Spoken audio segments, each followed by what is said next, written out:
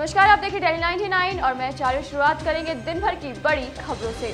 प्रधानमंत्री मोदी आज जाएँगे जयपुर। जी हाँ, आपको बता दें कि प्रधानमंत्री मोदी एक दिवसीय दौरे पर आज जयपुर जाने वाले हैं, जहाँ पर वो राजस्थान के लिए करीब 2100 करोड़ की लागत की परियोजनाओं का भी ऐलान करेंगे।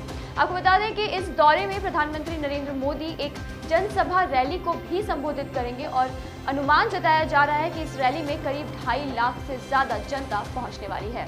धारा 377 पर 10 जुलाई को फिर से सुनवाई करेगा सुप्रीम कोर्ट। सुप्रीम कोर्ट ने कहा है कि वो समलैंगिक सेक्स को अपराध मानने वाले अपनी भारतीय दंड धारा 377 पर फिर से सुनवाई करने वाला है। उनका मानना है कि इस पर पुनर्विचार होना चाहिए। आपको बता दें कि चीफ जस्टिस दीपक मिश्रा की अध्यक्षता में बैठने वाला ये पैनल 377 पर 10 जुलाई से फिर से सुनवाई करने वाला है। मलेशिया के प्रधानमंत्री ने जाकिर नाइक को भारत भेजने से किया इनकार। आपको बता दें कि इस्लामिक प्रचारक जाकिर नाइक को मलेशिया के प्रधानमंत्री ने वापस भारत भेजने से मना कर दिया है। मलेशियाई प्रधानमंत्री महातिर मोहम्मद ने ये बयान दिया है कि अभी मलेशिया जाकिर नाइक को भारत भेजने के लिए तैयार नहीं है। उनका ये कहना है कि जाकिर नाइक ने अभी तक ऐसा कोई भी काम नहीं किया है जिसकी वजह से उन्हें भारत भेजा जाए या मलेशिया से निकाला जाए। ये भारत के लिए एक झटका है। आपको बता दें कि अनौपचारिक रूप से भारत मलेशिया से ये आवेदन कर चुका है कि जाकिर नाइक को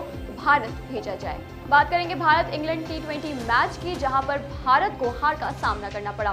कार्डिफ में हो रहे इस मैच में इंग्लैंड ने भारत को करीब पाँच विकेट से हरा दिया है, जिसके बाद में टी ट्वेंटी सीरीज़ में दोनों ही टीमें एक एक के बराबर पर आ गई हैं। आपको बता दें कि 20 ओवरों के इस मैच में भारत ने पाँच विकेट खोकर 138 रन बनाए थे।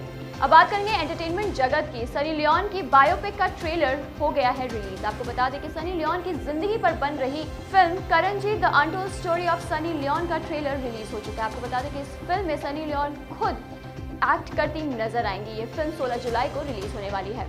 बाकी और खबरों के लिए आप सब्सक्राइब करिए दिल्ली 99